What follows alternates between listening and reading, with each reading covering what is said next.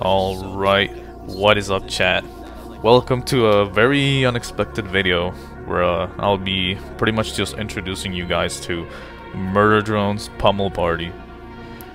So this video is of course a little bit different because it's not Unusual Force, but uh, in one of my many community posts I said that maybe I could possibly expand the showcases towards other games, and because of that, I thought that maybe I could first make a one-time video uh, introducing, you know, you guys to the game. And whether or not you guys actually end up enjoying it, I'll do more.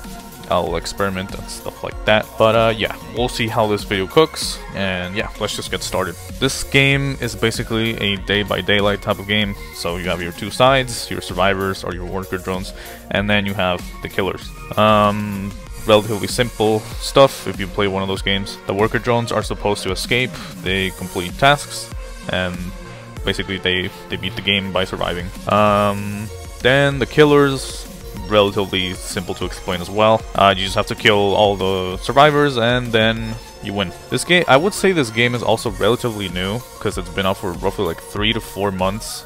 Um, so it is very small of course, because there isn't many murder drone games on Roblox. There aren't like role-playing games. So I would say it deserves a fair chance.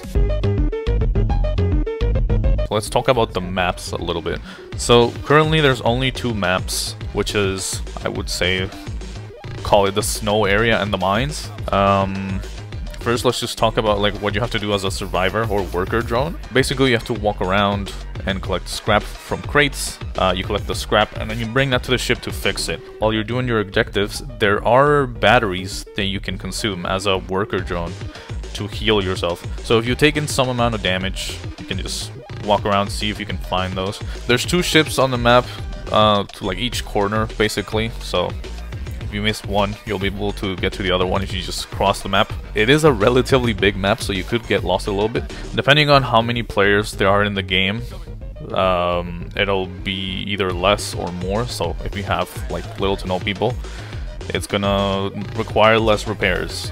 And yeah, pretty much you fix it, and then after you've completed the thing, you just escape and you win. Pretty simple. Uh, the mines play out similarly to the snow map, uh, since you have to fix an elevator, so you do the same process. You start out doing the same process pretty much. So you go out of your way, you open the crates, you get the scrap, you fix the elevator. Uh, once you do fix the elevator, the lights will turn off, you're gonna hear a sound effect, and then you have to gather capacitors scattered around the map, which are like these things on screen. I'll probably put them right now. Uh, and then you have to bring them to this big room with like a generator thing that has a, a bunch of like claw things on the on each side. And then you walk up to that, you'll get the prompt to put the capacitor there, and you have to put four on each side. Uh, there's four sides, so you have to put four basically in total. And then you just have to escape by uh, going towards one of the two elevators that are also on the map. I guess I should just uh, sh tell you guys about how many killers there are right now. So technically there's four, but three of them are reskins of each other. So technically there's only two. They basically only spawn in their respective maps. So if you get the snow map, uh, you will get N, V, and J. And if you get the mines, you'll get uh, Cyn. But first, let's talk about the snow killers in which I'll, uh, real quick, I'm just going to showcase what the controls do. Uh, LMB or your uh, M1, you slash on people with your claws. RMB or your M2 is your stinger. You can sting people up to like three or four times, something like that. But it goes on cooldown after you've swung it a few times already. Your R skill is a pounce. Uh, if you manage to catch someone, which I'm pretty sure you can only catch one person, they get one-shotted. So you have to really time it properly and stuff. Your Q is a temporary sprinting move, so you'll start running once you hit the thing. Your F skill switches your claws to for chainsaws, so you do extra damage and hit a lot, so they're very useful. And then your G skill lets you track people's footsteps if they are nearby. You, will see footmarks on the floor that lead to somewhere, and you can follow those. Uh, next, we have the mines, in which we have Cyn.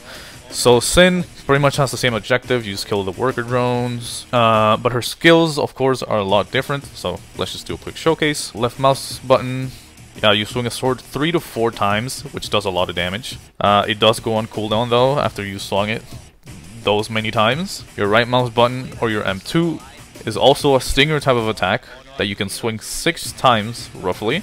That does a lot of damage. Your R skill is a grab move, so basically uh, you're gonna stand still, and if people are within your little like range thing, you're gonna pull them to you, in which you can just attack them or whatever. You also have your Q skill, that is basically a dash that lets you keep up with people relatively fast. Has a very low cooldown. And then your F skill lets you transform into a randomly customized worker drone, so you can trick people basically. Um, and of course, you get the same speed as a worker drone. Important thing that I forgot to mention is that uh, worker drones actually have some controls themselves. Basically, your middle mouse lets you point at stuff. So you, uh, if you were looking at a crate, you can point at that and it's gonna mark, it's gonna do a ping, and everybody on your team can see it. And worker drones can also crouch, but not necessarily hide completely since there's not many spots on the map. And they're, they're also able to just hide inside lockers. Uh, essentially, the E key is for interacting with everything that isn't crouching or um, pointing. So since we reviewed what the killers do roughly, let's just go over the worker drones because I didn't exactly specify what they can do, aside from just doing the objectives. So after a round, uh, usually you'll get an amount of chips and XP, and worker drones can use this to customize their avatar. You know, you can change the color of your lights, you can put on hats, boots, uh, shirts, whatever. But uh, you can also use this to buy tools that can help you uh, in whichever map you're in. So first up, we have the pickaxe. Pretty much, when you press G, you're gonna pull out your pickaxe, and if you get attacked within that frame, you're gonna counter and uh, and stun the killer for a few seconds, roughly. Next up, we have the door. So the door can only be placed in specific locations. You'll see that uh, when you press G, you'll get like a red box, and once you find the right spot where you're allowed to put the door down, it'll extend to like a green line, basically. Anyway, these doors, uh, when you put one down, it's gonna automatically close, and if you get close to the door, you can see a little like um, screen that shows you the HP, basically. Because the killers can damage the door and eventually break it down, so you have to be real careful about that. And of course, you can just open and close your door whenever you want, uh, as well as your teammates, although they cannot close the doors. They can just force open the door if uh, they need to escape or something like that. also, thing I forgot to mention, Cyn can hack the door with the solver, so if she aims the thing at the door, she's gonna force it open for like a few seconds and you're not gonna be able to control the door. Eventually the door does close by itself, but uh, yeah, something important uh, for you guys to know. And lastly, we have the car battery. It is pretty much just a little like healing pack that you bring along with you, although when you put it down, uh, it's gonna be there until you die or uh, it's used up. Basically, it just acts like a pack of five batteries and then it disappears. And I guess it's relatively useful because uh, you can also just leave it there for your teammates to use. But uh, yeah, honestly, that is all that I wanted to talk about. But uh, yeah, hope this interests you guys and all that stuff. And if it does well, maybe I'll come back to this, do like an update video or whatever. Who knows? Uh, but uh, yeah. See you guys next week with the showcases, and goodbye.